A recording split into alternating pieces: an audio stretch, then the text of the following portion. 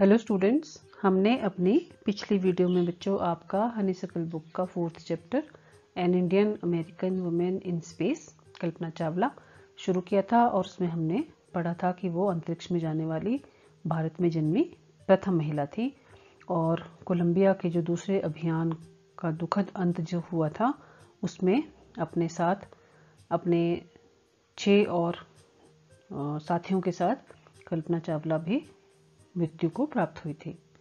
तो आज हम इसका अगला पार्ट जो है वो शुरू करेंगे। मुझे उम्मीद है पहला पार्ट आपको ठीक से समझ में समझ में आ गया होगा। तो चलिए बच्चों, शुरू करते हैं chapter, an Indian American women in space, Kalpana Chawla.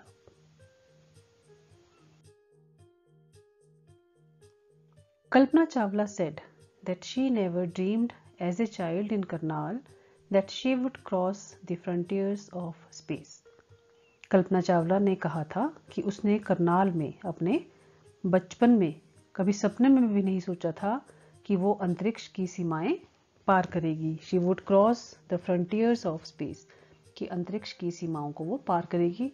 अपने बाल्यकाल में, अपने बचपन में जब वो करनाल में थी तो उसने कभी ऐसा नहीं सोचा था। तो बच्चों, इस लाइन से हमें ये पता चलता है कि कल्पना चावला करनाल, जो कि हरियाणा में है भारत में वहाँ ये पैदा हुई थी। It was enough that her parents allowed her to attend engineering college after she graduated from Tagore school यही काफ़ी था उसके लिए कि टैगोर स्कूल से स्नातक की परीक्षा पास कर लेने के पश्चात उसने, उसके माता पिता ने उन्हें इंजीनियरिंग कॉलेज में दाखिला लेने की अनुमति दे दी थी। अलाउड होता है परमिशन दे देना, आज्ञा देना। टू अटेंड अटेंड क्या करना है? इंजीनियरिंग कॉलेज कि अपनी ग्रेजुएशन के बाद वो इंजीनियरिंग कॉलेज अटेंड कर ले। उसके लिए इतना ही काफ़ी था।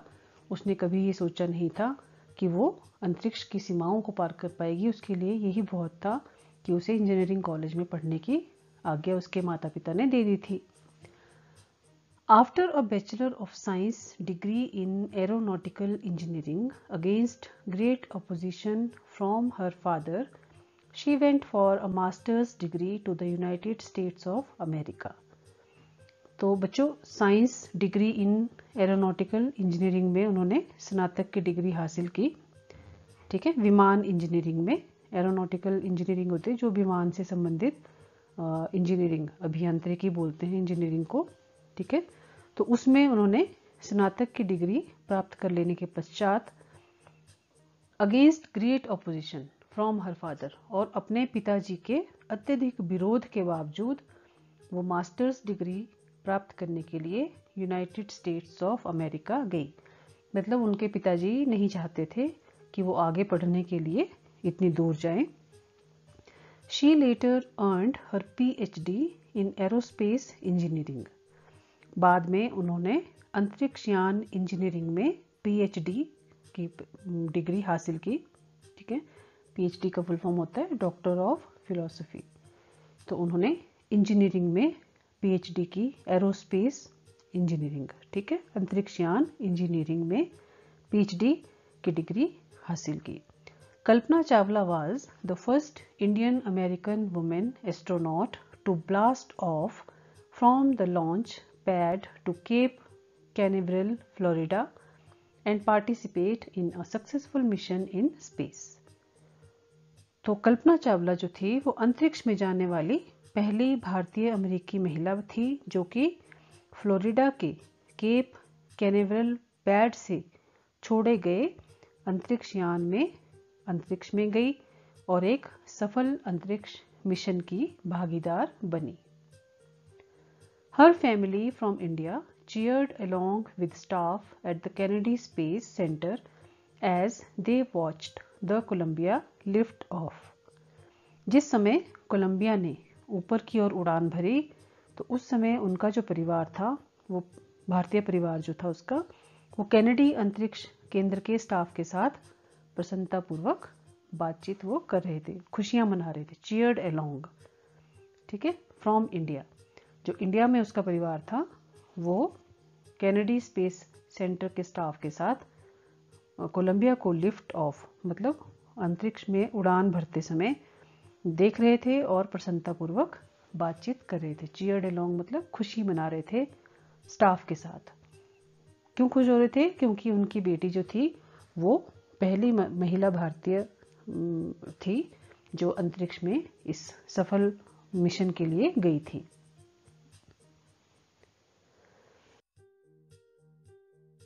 Kalpana was born in Karnal, Haryana, but was a naturalized US citizen, married to flight instructor Jean Pierre Harrison Kalpana का जन्म हरियाणा के करनाल शहर में हुआ था और वो फ़्लाइट प्रमाण पत्र प्राप्त।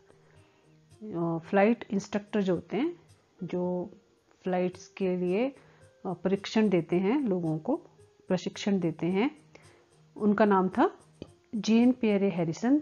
उनसे उन्होंने शादी की थी और शादी के बाद उन्हें वहाँ की सदस्यता प्राप्त हो गई थी। वो वहाँ यूनाइटेड स्टेट्स की नागरिक बन गई थी शादी करने के बाद। So besides being an astronaut she was licensed to fly single and multi engine land airplanes single engine seaplanes and gliders तो अंतरिक्ष यात्री होने के अतिरिक्त उनके पास एक तथा एक से अधिक इंजन वाले वायुयान। शी वॉज़ लाइसेंस्ड उसको लाइसेंस प्राप्त था टू फ्लाई उड़ाने के लिए क्या? Single and multi engine land airplanes एक इंजन और बहुत इंजन वाले जो एयरप्लेन्स होते हैं, जो ज़मीन से उड़ते हैं जिन्हें वायुयान बोलते हैं, वो उड़ाने का लाइसेंस उनके पास था। और सिंगल इंजन सी प्लेन्स एक इंजन वाले जलयान उड़ाने का, उन्हें लाइसेंस प्राप्त था और ग्लाइडर्स ग्लाइडर्स उड़ाने का भी उनके पास लाइसेंस था। तो मतलब वो सिर्फ़ अंतरिक्ष यात्री ही नहीं थी, बल्कि वो एक लाइसेंस्ड फ्लाई करने के लिए उनके पास लाइसेंस्ड वो फ्लाई इंस्ट्रक्टर भी थी वो, जिसमें वो एक इंजन वाले, ज़्यादा एक से अधिक इंजन वाले वायुयान उड़ाने के लिए उनके पास लाइसेंस था। और एक इंजन वाला सी प्लेन सी प्लेन होता है, जलयान उड़ाने का और ग्लाइडर्स उड़ाने का उनको लाइसेंस प्राप्त था। She was also a certified flight instructor और वो एक सर्टिफाइड मतलब जिन्हें प्रमाण पत्र प्राप्त हो, जिन्हें ये परमिशन हो कि वो लोगों को फ़्लाइट उड़ाना सिखा सकें। यानी कि वो एक प्रमाण पत्र प्राप्त फ़्लाइट इंस्ट्रक्टर भी थी। So after qualifying as a pilot, Kalpana began to consider another challenge, applying to NASA's Space Shuttle program. तो पायलट की योग्यता प्राप्त कर लेने के पश्चात कल्पना एक दूसरी चुनौती के बारे में विचार करने लगी मतलब वो कुछ और करना चाह रही थी ज़िंदगी में और वो क्या था applying to NASA's space shuttle program NASA के स्पेस शटल प्रोग्राम के लिए प्रार्थना पत्र भेजना। In 1994 she was selected by NASA for training as an astronaut और उन्नीस में नासा द्वारा उन्हें आ, क्या चुना गया? सबसे पहले अनुसंधान वैज्ञानिक के रूप में training as an astronaut NASA ने उन्हें सिलेक्ट किया अनुसंधान for training as an astronaut कि उसे एस्ट्रोनॉट अंतरिक्ष में जाने के लिए उन्हें ट्रेनिंग देने के लिए चुना गया उन्नीस सौ चौरानवे में। ठीक है पेन आस्ट जब उनसे ये पूछा गया what it was Like being a woman in her field, she replied, I really never ever thought, while pursuing my studies or doing anything else, that I was a woman or a person from a small city और a different country. जब उनसे ये पूछा गया कि अपने क्षेत्र में it was like being women in her field कि अपने इस क्षेत्र में एक स्त्री के रूप में उन्हें कैसा लगता है तो उन्होंने क्या उत्तर दिया I really never ever thought कि मैंने कभी भी अपनी पढ़ाई के दौरान या कोई अन्य काम करते समय कभी नहीं सोचा कि that I was a women कि मैं एक औरत हूँ या मैं ऐसा कभी नहीं कर सकती हूँ या doing anything else that I was a women और a person from a small city और ना ही मैंने कभी ये सोचा कि मैं एक छोटे शहर की रहने वाली व्यक्ति हूँ और ए डिफरेंट कंट्री या मैं किसी अन्य देश से संबंध रखती हूँ।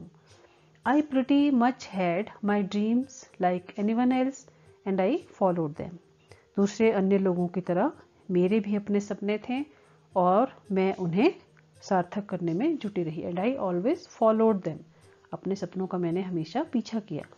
And people who were around me fortunately always encourage me and said if that's what you want to do carry on और सौभाग्य से मतलब मेरी किस्मत से मेरे नज़दीकी लोग हमेशा मुझे प्रोत्साहित करते थे और कहते थे कि यदि तुम यही करना चाहती हो if that's what you want to do carry on की, अगर तुम यही करना चाहती हो तो तुम इसी में जुटे रहो।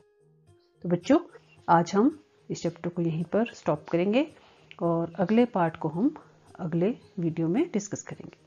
अब आप इसे खुद पढ़ें और जो डिफ़िकल्ट वर्ड्स हैं, उन्हें अपने पास नोट करें, उनके मीनिंग्स जो हैं वो ढूँढने की कोशिश करें सेंटेंसेस बनाएँ और रीडिंग की प्रैक्टिस करते रहें, क्योंकि अगर आप रीडिंग नहीं करोगे तो आपको रीड करना नहीं आएगा और रीड करना नहीं आएगा तो समझ में नहीं आएगा। घर पर रहो बच्चों, अपना ध्यान रखो और घर पर रहकर अपनी पढ़ाई अच्छे से करते रहो। Bye bye and have a nice day